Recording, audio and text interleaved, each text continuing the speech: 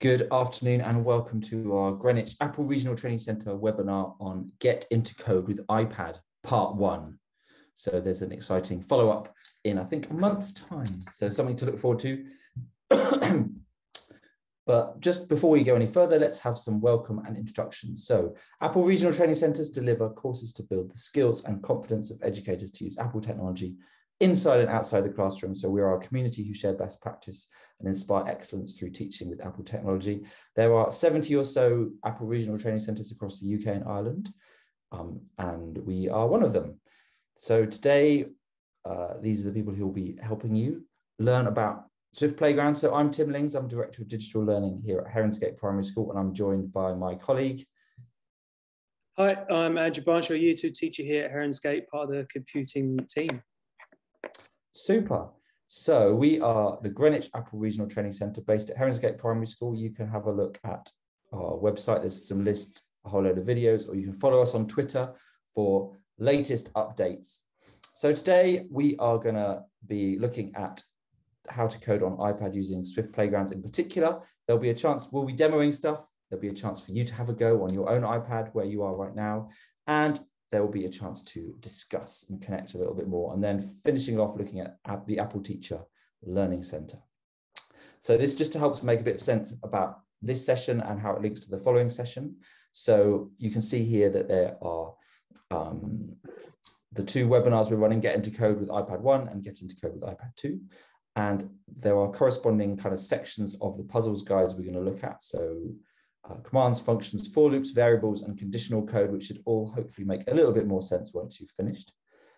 So today we're going to be looking at commands, functions, and for loops. That's the kind of first half, and specifically commands is what we're going to start off with. But before we do that, just to let you know what you'll need for today's session, you will need an iPad with Swift Playground installed. So that could be the iPad that you are joining this meeting on, or perhaps you're on another computer to have an iPad handy. There is a book in the Books app that you can reference. Feel free to download the book at a future time, but we'll be referencing that. We are also requiring a, if you have a piece of paper, one of these. So if you haven't got a piece of paper, perhaps run to a printer, grab one. I Don't know, find a child's piece of work. No, I'm joking. So you can find a blank piece of paper. And last of all, we'd really appreciate your contribution. So we've got a nice little green mic. So there might be some opportunities where you can come off mic and joining the discussion, maybe joining the chat. So just to help to help this session run really well, it'd be great if you're up for that, contributing your thoughts and everything. Um, so we'll be making use of these teacher guides and resources from Apple, the Everyone Can Code uh, curriculum resources they've made. There's a book called Everyone Can Code Puzzles, and then there's a teacher guide that cor corresponds with that that's kind of tells you a bit more, and that goes with the Swift Playgrounds app. So we'll be having a look at that. So some of the outcomes from this webinar will get you started in identifying using commands, functions, and for loops, help you learn some simple activities that you can use confidently with students. You're going to try out those skills in the Swift Playgrounds app, connect about how these relate to the curriculum, and then share your successes. But before we do that, we're going to have a little poll. So he says, finding the poll button, here we go. So the question is, what is your experience with using Swift Playgrounds on iPad? Okay, so answer away. Have you published an app on the App Store? Have you got yourself the Swift Playgrounds Apple Teacher Badge? Have you had a good go at some of the Learn to Code playgrounds? Have you opened the app once or twice? Or are you wondering what on earth is Swift Playgrounds? Good, well done. We've had 42% of participants participated in our poll. A few more seconds which is the answer that you think best sums up your situation. Okay, a few more seconds. And I think that's enough time. Everyone who wants to participate in the poll will have done so. So it was pretty evenly split between the I don't know what Swift Playgrounds is. I've perhaps opened it and well, I've had a good go. Okay, super. So uh, maybe, oh, I need to click the share results. There we go. You should be able to see that now. So a bit of a split there between the bottom three. Super. Okay, enough of the poll and on with the session. So uh, this is the Everyone Can Code Puzzles teacher guide, which we can have a look at in a second. And in here are some resources to help lead your learners through. So the kind of process they go through is learn. So you'll learn a coding concept. You'll then try that coding concept within the app. You'll then apply it in a slightly different setting, and then you'll connect and think about how that applies to you and the students' lives. So before we introduce ourselves to commands, let me just show this book. So I'm opening up uh, Apple Books, and you can see here we've got Everyone Can Code Puzzles, the teacher guide. So I'm just going to open that. And in here, you've got an introduction which kind of talks you through how this book works along with the app. So you can download the app from there, how to use the book. So those four different ideas there, learn, try, apply, connect. So that's how the each kind of section is structured. Um, so you're learning some with some activities to learn that skill. You're going to try it out with the app, thinking about how you're going to solve those coding challenges, apply those coding skills in a new context, and then connect in with everyday life. And then it breaks it up into different sections. So we've got commands, functions, and loops. So we're going to have a look at those four areas today.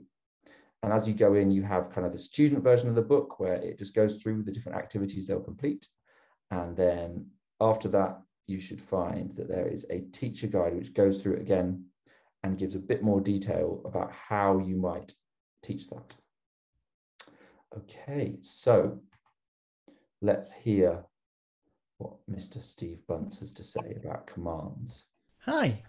In this session, we're going to think about commands. Commands are instructions that you give to your computer or to other people. It's really important to be very clear with your commands. And in this session, we really want to focus on the children and the students being very precise with their instructions. So now it's time to follow commands. Listen carefully, and away we go. Lovely. I love Steve Bunce. So there we go. He's an Apple professional learning specialist. He helped put together these slides and he's got his lovely um, animojied face there as well. Fantastic. Okay, so getting started, this is where we need you to open up that chat box and I want you to choose an everyday object. What are the instructions or commands you would give to use it? So just post in the chat the object. You can choose one of the objects off the screen or another object, and then what one command you might pop in. So me and Andrew, we're just going to post some ideas, and if you'd care to join us in the chat, feel free. So I think I'm going to choose a guitar. What command would I have? Strum the C chord. Lovely. Amazing. Oh, lovely. So we, you've chosen your object. You then need to choose what command you would give to it. So for example, me with guitar, I've said strum the C chord. So you make the shape. Off you go. Oh yeah, good. Thank you. A book hold it in your dominant hand, pick up the book. Lovely. Oh no, this is, hang on. Katie's talking about a guitar. He's just saying, open the fridge door. Yep, good. Open it up. Have a lovely look. I think I know what the next instruction there is.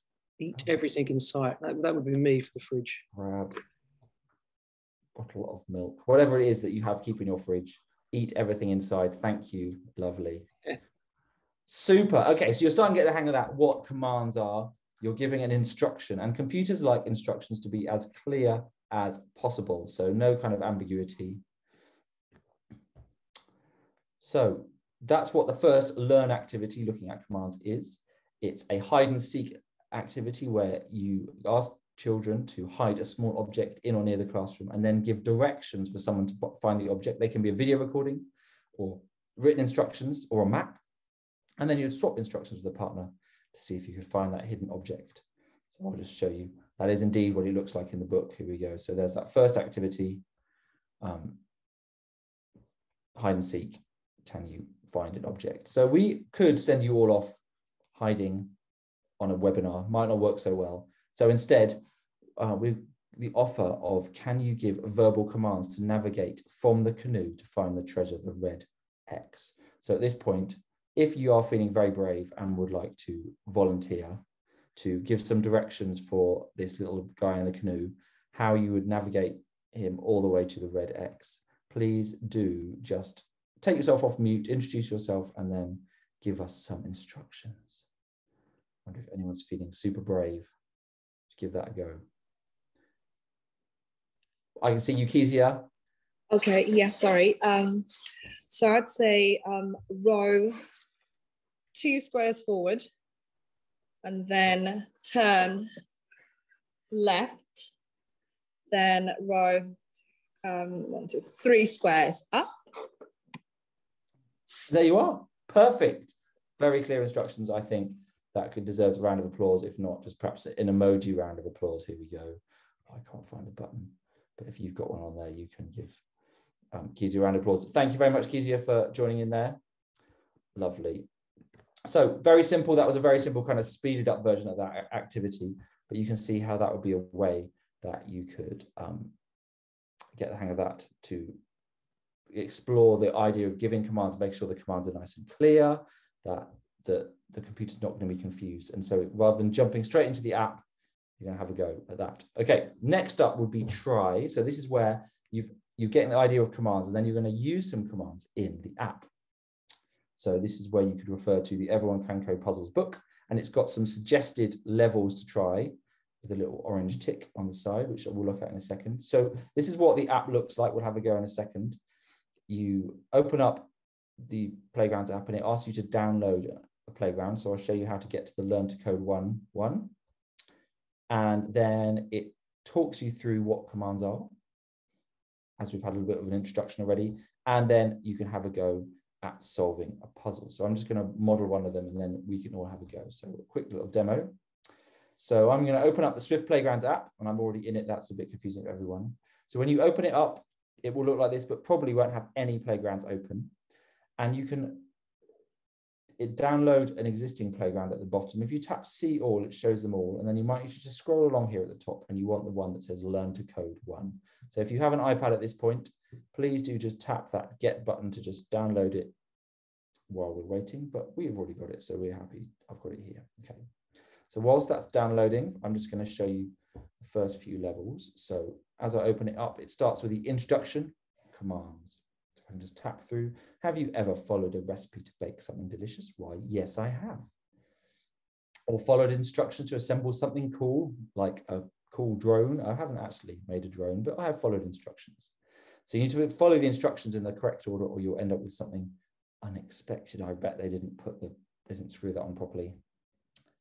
Same with computers. And now we move on to writing code allows you to create your own set of instructions for your device to carry out. Your goal is to figure out which instructions in which order will result in something great. So in this app, you'll write commands to move a character called Byte. There he is, the little funny orange guy with a blue head, performing tasks. So for example, you tell him to move forwards or collect a gem.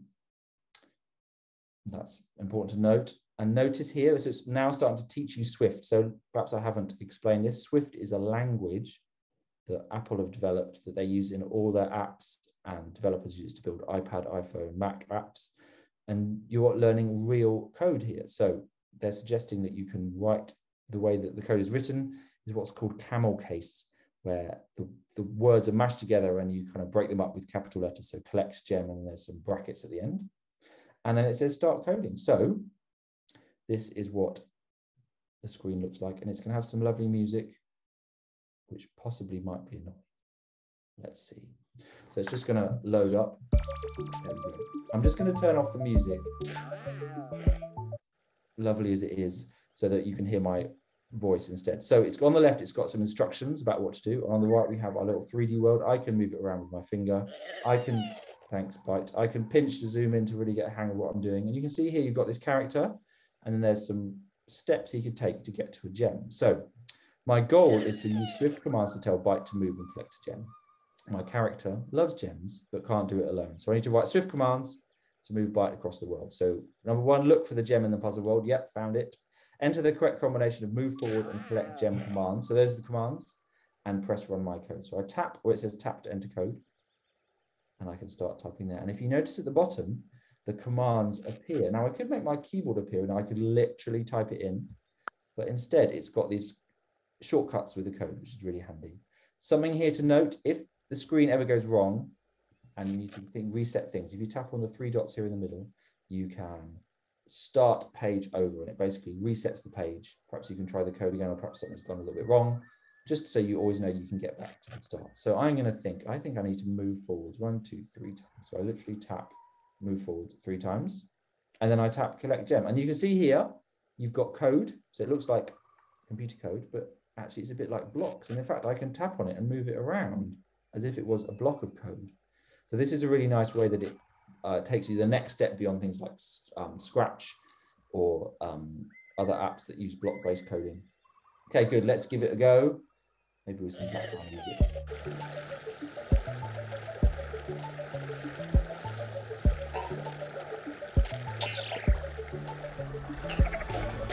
Congratulations, I've written my first line of Swift code. And then it moves on. Okay, now at the top here, you also can navigate left and right between pages, or you can go along here and you can see here, got a tick on that first one. Great. So at this point, it's going to be over to you to have a little try. But before I do that, let me just, here are some useful things that you can do to help solve your problems is you can always take a screenshot on your iPad and use the markup tools to kind of plan out what the route is, where you might go. That's a useful thing you could do. And there are more suggestions like that in the teacher guide.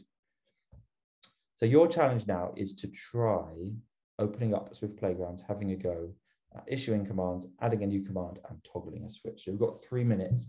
Now what I might do here, I haven't told Andrew I might do this, but he can copy if he wants. I'm gonna do a bit of split screen magic here. So we've got a timer on the left. And while you have your three minutes to play, I might just be playing along at the same time. Feel free if you get stuck or you have any questions to just come off mute and ask away. But okay, so you have three minutes starting now to have a try at those levels. So have a go. Um, and whilst you're doing that, I might just have a go at some of them too. So, oh, add a new command. Here we go. Oh, I can turn left. This looks good. So I might to walk forwards, do, do, do, and then turn left. Hmm. Let's have a go. Move forward. Turn. Move forwards.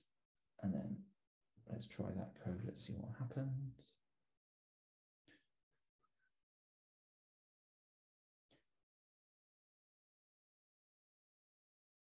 Oh, he didn't get the gem. I think I didn't put collect gem at the end. So I can run my code again. Here we go.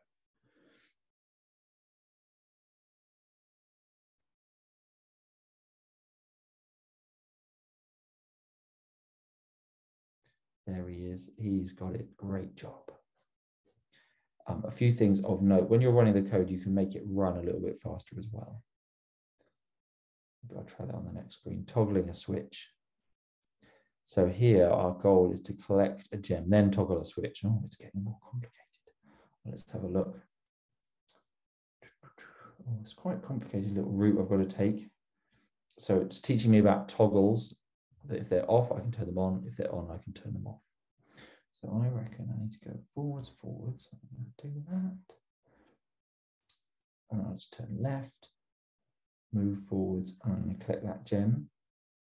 Maybe I'll try what that's like and I'll run really fast to see if I've got that first bit right. Oh,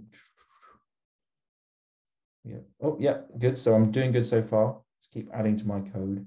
Move forwards, turn left, move forwards, move forwards. And then I'm standing on the switch. If I toggle it, is that going to work? Let's have a try.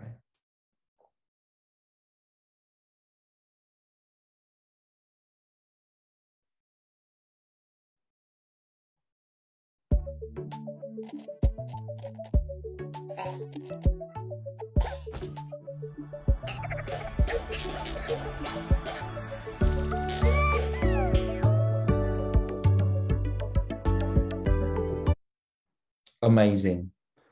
Lovely. So I'll just leave you with another 40 seconds, see if you can finish some of those levels. Yeah, I think I've broken my time. I think time's up, people. Super. Okay.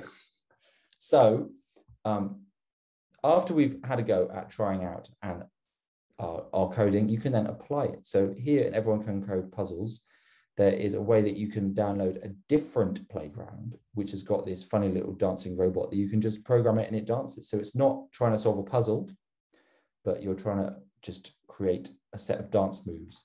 So let me just show you what that looks like in the book. As we go along, there's a bit more detail here about how you might solve some of these puzzles. And you can apply it with the MeeBot.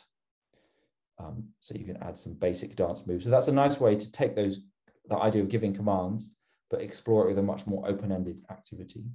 And then the last thing that would happen is that you've got connect. So this is a way of thinking about how that connects in with real life. So you could um, collect information. Let me read what it actually says.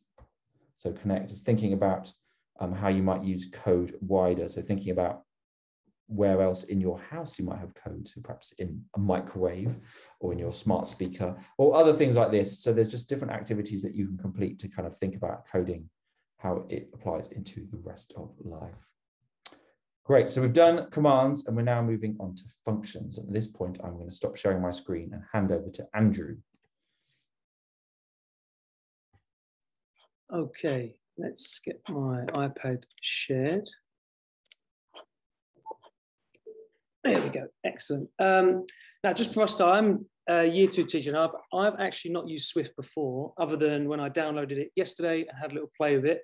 And at first, this app was a bit daunting, but the more you play with it, the more familiar you get with it. So if you're feeling a bit worried at the moment, don't worry, because the more you get to get used to it, the easier it becomes. Um, so as Tim said, I'm going to be taking us through the functions section. I'm going to go through the introduction, composing a new behavior, creating a new function and nesting patterns. Now, functions are really cool because they are a way of grouping commands together, which saves a bit of time and it makes your code a little bit cleaner, uh, a bit, bit less messy as well.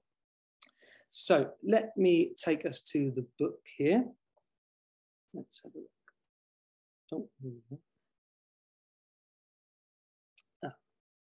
Let's go to Swift. Let's click open. I want to go to introduction. So functions, as I said, they're a way of grouping tasks together. So every day you perform a range of tasks automatically without thinking about what you're doing.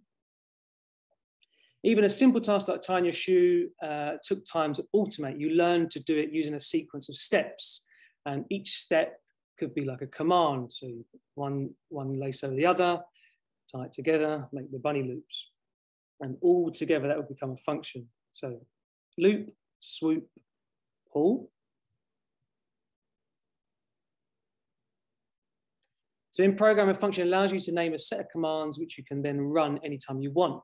So bringing these three commands together, you would make the function tie my shoe. And to define a function, use func, func, so function, with a chosen name. Uh, and you always follow a function with the parentheses open and closed. So give your function its behavior by adding commands inside the curly brackets. After you define your function, call it by its name to run its commands. Start coding, so let's have a go. So this is composing a new behavior. Let's, where's our little island here? Tapped into code. Also turn the music off, as fun as that is. Okay, so let's see what we need to do here. Now, I, I like the idea that Tim mentioned by taking a screenshot and annotating. I think I'm okay for this one here. So I can see I need to go one, two, three steps forward. Now, I can see on the screen here I need to turn right, but I don't have a turn right function. So I'm going to need to create that function by using multiple commands. Now they say three wrongs make a right, but in this case, I think three lefts is going to make a right. That would then leave me facing the correct way for the gem. Then I need to go one, two, three steps forward and then collect gem. Let's run this code. Let's speed it up as well. Super. So by combining the three left turns, I enabled my character to turn right, even though there was no command for that. So that's called composition, where you combine existing code to complete a new task. All right, let's have a look at the next page here. So this is moving on to creating a new function, which is just the third point there.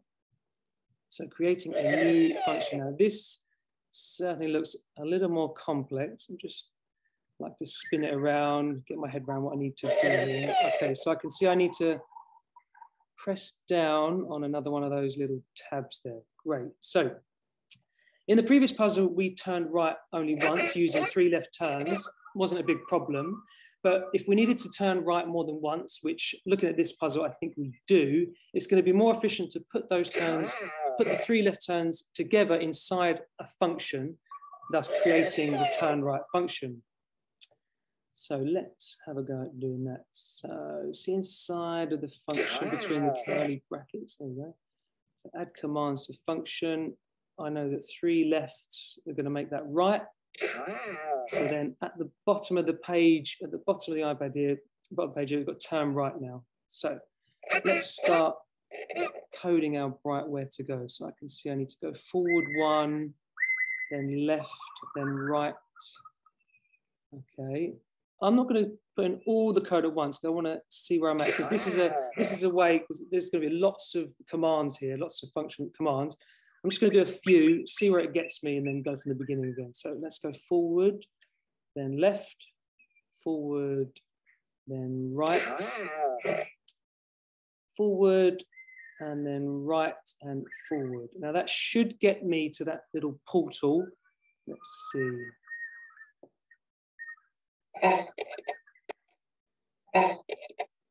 You can see as it's turning right, it's using the function I've made there to make the three left turns. And again, okay. Super. Okay, so I'm gonna see what I need to do from here now. I can see I need to turn right, forward one, left, forward one, right, forward one, left, and then one, two, three, four forwards, a left and a forward. Okay, so let's do that. Let's do a turn right, forward, turn left, forward. Now, similar to with the collecting the gems, we need to toggle the switch. So I'm going to toggle switch, turn right, forward, turn left, and then one, two, three, four forwards. One, two, three, four. And then turn, oh no, turn left. Oh, I don't need to do any of this. I think the other switch is already toggled. You only got one right. to press. I was just doing. Save extra. yourself a job. That's right. Let's go all the way back here. I did that intentionally so I could show you how you delete code you don't need, of course. The consummate professional. There you go. Let's run code from the beginning. Let's see it in action. Let's run by fastest.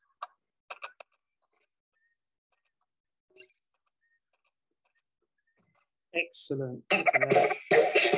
So I put a load of unnecessary code and I showed you how to delete it of course, intentionally. Great. Let's go to the next page now. We are, what are we moving on to next? We're going to nesting patterns. Let's find nesting patterns here. Okay, great. So up now, we need to, the functions we define have only called existing commands, such as move forward and collect gem. It doesn't have to be this way. The function turn around directs your character to turn around and face the opposite direction you can call this function inside another function, solve stair, and call solve stair in your code to solve bigger parts of the puzzle. Excellent. So we've got a function here, turn around, which is left, left, which you get to turn around. Super. Let's do solve stair. Ah. Okay, so if I put in here, Mm, oh no. I put in here, move forward, collect gem, turn around, move forward. That should get me back to the back to the middle. Let's see.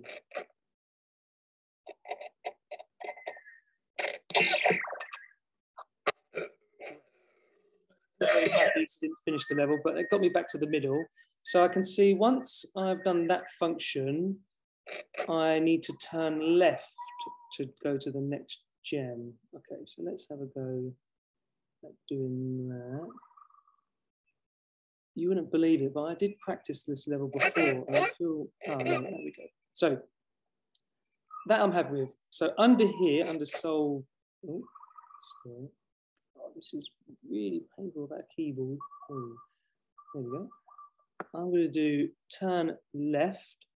So then that will get me to turn left. And I'm to do solve stair again. Left, solve stair, left, solve stair. Okay, let's see if this completes the level.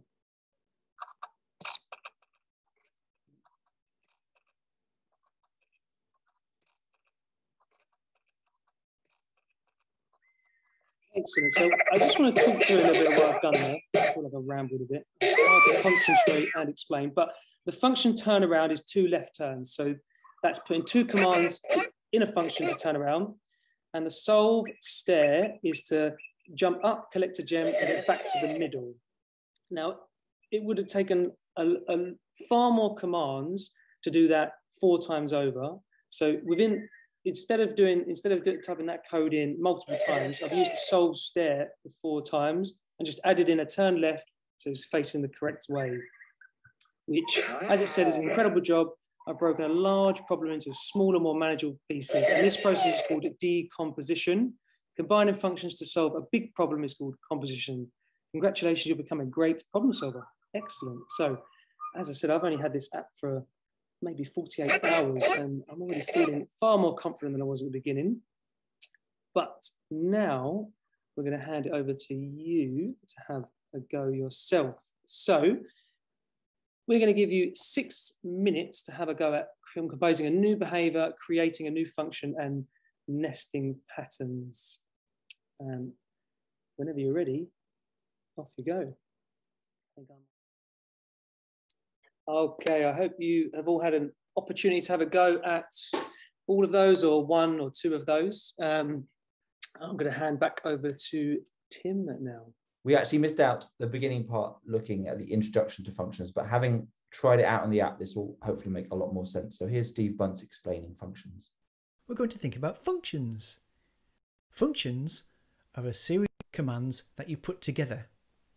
So for example, if you were tying your shoelaces, you might say, pick up each shoelace, cross them over, turn them around, and all those different instructions. And you don't want to have to do it many times. You can simply say, I would like you to tie your shoelaces. It saves us time and makes our code more efficient. There we go. Saving time, making it more efficient.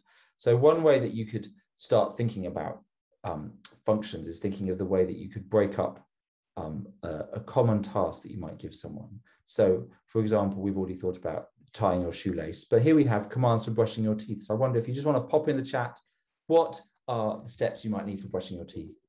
Let's see who can get there first. So I'm just going to type something here myself. Oh, turn on the tap, definitely important part of those that sequence. So it's thinking about what are the steps that you need, and then how could you shorten that to just go and brush your teeth, and then the person knows all the steps that you might need for that. So that's just getting you thinking about functions. And we could, if this wasn't on Zoom, have a try at uh, doing some origami as a way of exploring a function, because actually here is a whole set of sequences that put together to make something. So there is a little video that we might watch a little bit of. This is where you need your piece of paper. So we might just have a little have a little feel of this. Um, we won't watch the whole thing. It's 10 minutes long. Perhaps you're not up for a 10 minute origami session. Maybe, but it's all on YouTube if you need it. So we're just going to watch a little bit of this origami video with Steve again. It's going to work. Yes. Hello. Welcome to our unplugged part of the session. We call this unplugged because we're not going to use any technology in this part. What we're actually going to use is paper. So, what you'll need is we're going to take a piece of paper I'm going to cut this into a square. Okay, so get your piece of paper and you can cut it into a square. To do that, what you can do is you can fold the page over all the way up to the side until it's nice and square. I'll give that a go.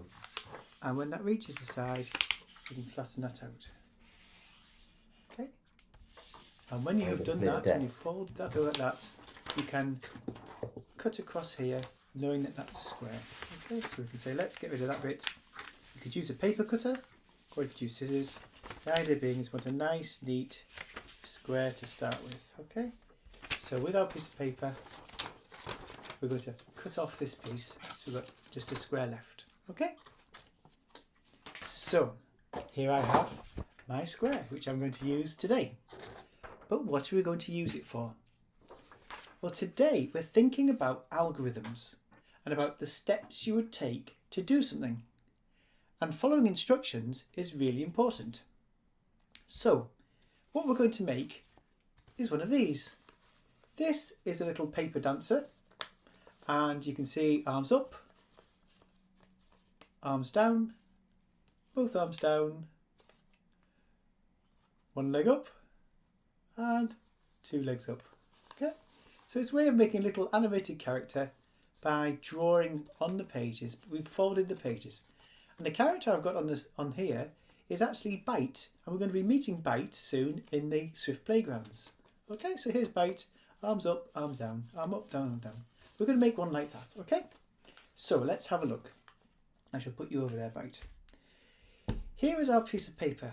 So what we're going to do to start with and so that could carry on so if you if you are teaching this with a class there are those kind of activities that you could do just exploring a sequence of commands that you use to complete your task and how you might break them down into kind of sub commands so um, always worth doing if we were in a room together that might be quite a fun little thing to do but i think on zoom less so okay i'm just going to skip forwards to um, how you might then connect afterwards so you've gone through the level, you've gone through making your origami, and then you could think about were there any repeated commands in your paper folding function. There are ways you combine it to make it more efficiently and how that could apply to other subject areas. So all these things are just useful. A lot of the coding is about the thought processes, not just how to solve something in an app. Great. Okay, so the last part we're going to look at today is for loops. So we've done commands, functions, and now for loops. So here's Steve again. Let's find out what for loops are. In this session, we're going to think about for loops. For loops are repeats, where you might repeat a series of commands many times. This makes things easy for us because we don't have to type out the instructions every single time. We can just say, do that, and I'd like you to repeat that maybe four times. So they save us time and energy and make our code more efficient.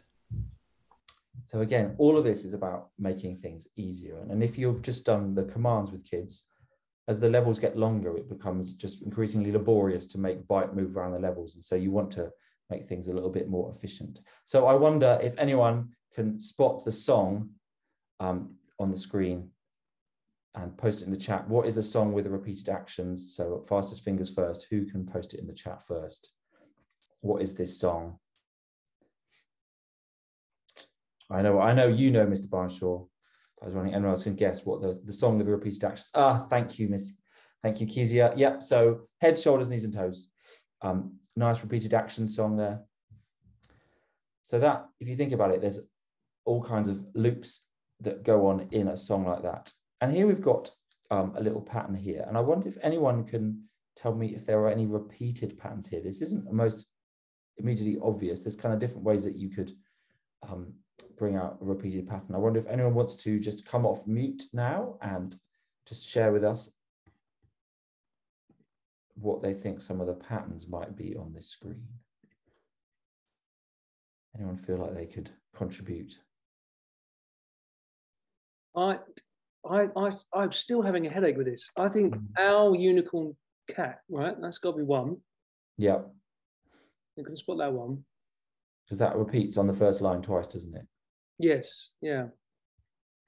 So maybe if you wrote a function called our unicorn cat, yeah, you could then loop that, take what we've learned already. But definitely, is a lot of coding is about spotting those patterns and thinking about how you can make something more efficient. Katie, you've come off chat. Did you have anything you wanted to share?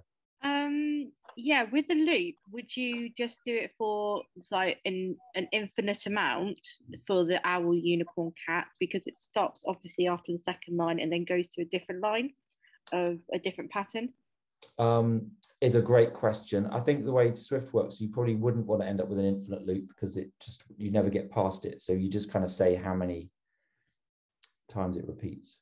So then you've got the owl, cat, the three owls and the cat so is it, and then, but then is the end meant to be two owls? Mm, is the beginning is one question. owl? Because definitely there's there's a repeated like in a sense, the first two lines, the first line repeats the second line. Yeah. Could be our loop.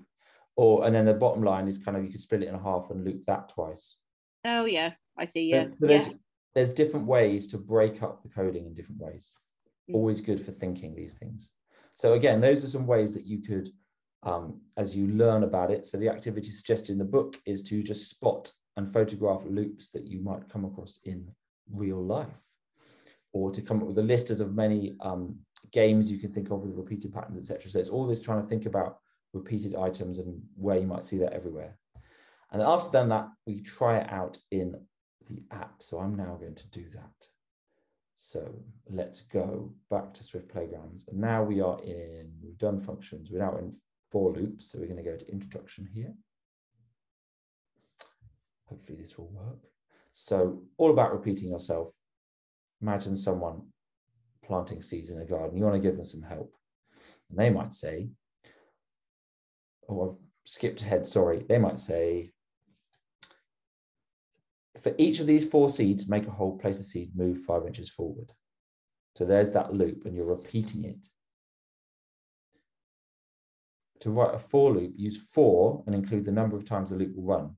For each seed in one dot, dot, dot, dot, four, make a hole, place a seed, move five inches forward.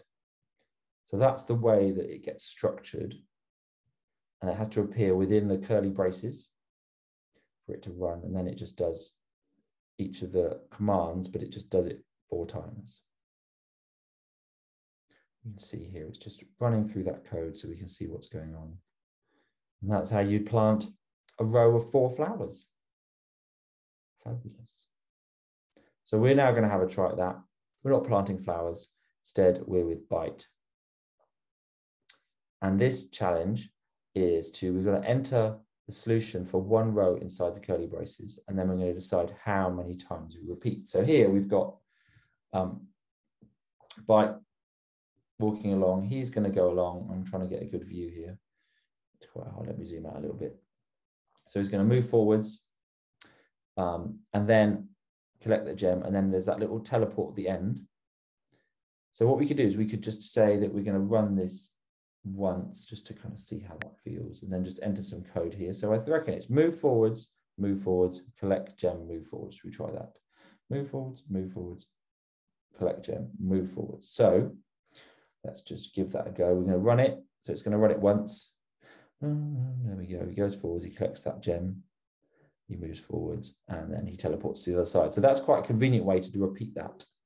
And then I can see that actually there was one, two, three, for, five rows. So actually it's four i in one dot, dot, dot. We're going to put a five here because we're saying it's going to repeat it five times. So everything in that curly brackets, it's going to repeat.